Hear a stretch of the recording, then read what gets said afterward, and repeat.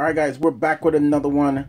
And this is my last word review on the Pixel C tablet. So here is the Pixel C tablet with the folio case. And one of the reasons why I got the folio case is because the folio case add extra protection. Folio case looks good. Folio case, it's still connected magnetically and it just looks good. There's two viewing angles and the main thing is it adds extra it add extra protection and just in case you drop your uh, uh, tablet you don't have to worry because as long as it's in the case it's going to be absolutely well protected and that's why I got the folio case so the folio case looks good and it also protects your device. So let's get into let's that. Let's talk about the keyboard. The keyboard is real clicky. It has some solid, solid touches. Feels good. It's a very good case. Very good case. Um, the keyboard is really nice. So uh, along that, this is a great case. It has a great keyboard attached to it. So real good. Also, it's a leather feel. It's a leather feel, feels thick, feels like an actual book, and it's real nice. So imagine if this is, you know, you find a way to do some work on this tablet. You're not going to have any problem typing. You're not going to have any problem putting in your book bag or your briefcase. It's really going to work out nice. So the folio case is definitely a win. The one gripe that I have about the folio case is that in some ways when you're opening it with one hand you pretty much will open it without the tablet attached. So you have to pretty much use two hands and make sure you grab the tablet along with the case. So that's my one gripe about it. But other than that, it's a real nice case. Now let's talk about the tablet itself. The tablet is running the latest version of Android, which is Android M. And I'm telling you guys, you can look forward of getting all the top-notch updates. And the update I'm waiting for if this tablet will ever run Chrome OS. So, but right now it doesn't. If it actually does, I will do another review. But other than that, we're talking about this as a Android tablet and it definitely does that job very well. So let's talk about this screen. The screen is a 2560 by 1800 display and let me tell you guys this is a absolute gorgeous display very vibrant, beautiful display. You're not going to have any problems watching your Netflix or or browsing the web or looking at your YouTube videos all in 1440p and above because the screen is definitely absolutely on point. Now if we go around the tablet, you have the power button right here, metal button and you have the volume button. I wish they had another volume uh, button on the keyboard itself because sometimes I find myself looking for vo more volume on the keyboard. But anyway, here's the speakers, and let me tell you, the speakers sound real good. 3.5 millimeter jack. Here's the other speaker on the other side, also with your U, my uh, not micro USB. This is Type C. So your Type C cable, that's the new advancement of, of cables. So you're definitely going to have that. And it also charges up pretty fast. Alright, here's sound test on this Pixel C with its dual speakers coming out from the sides. That's 50% volume, about 80% volume. 100% volume, you're getting full stereo sound.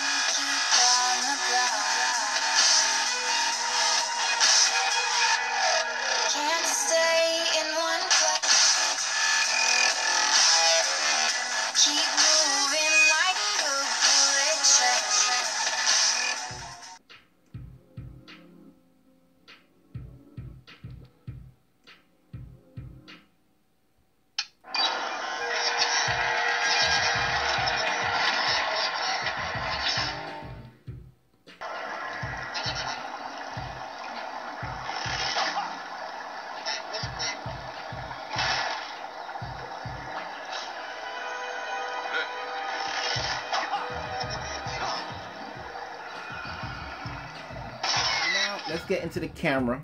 Now the camera is a big deal because we have, you know, two cameras. We have a back camera, which most tablets don't come with, and we have a front facing camera. So we have two cameras on here, front facing is two megapixels. And I feel it's okay, you know, for hangout calls. You're not going to get no big top resolution out of it. It's okay. But the rear camera, 8 megapixels, they could have gone with 5 but they're going with an 8 megapixel camera and I think the 8 megapixel camera is alright. You can take some pretty good, pretty good shots.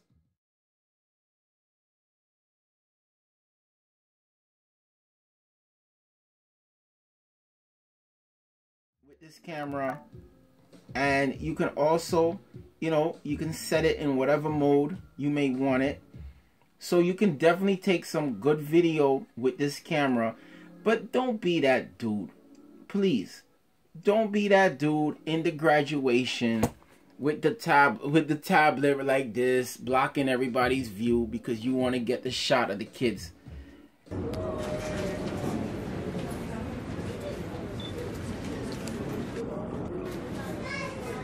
I hope you would have your cell phone with you. So bottom line, the OS works real nice no issues with the OS. Any any way that you swipe, you're gonna get your your toggles for your notifications. You're gonna be able to go into your settings. And settings is real setup, real simple, real clean. Android M, stock Android is real simple. And a lot of people don't like it. A lot of people want multitasking where you can put one, uh, whether it's multitasking, which way, whichever way, but you want to have something on one side of the screen, maybe something on the other, and do your multitasking. We're, right now, you gotta settle for multitasking like this, going in and out of apps. And I don't have no problem with it because if you're gonna have true multitasking, true multitasking is when you could do it, have that split screen with any app you want. So until those uh, Samsungs of the world or the Apples have that split screen mode where you could do it with all apps, then you know what? Nobody truly has multitasking. So pretty much with that, this is the Pixel C tablet. Very worthwhile getting if you really like that tablet experience. This might be something that you definitely want to get.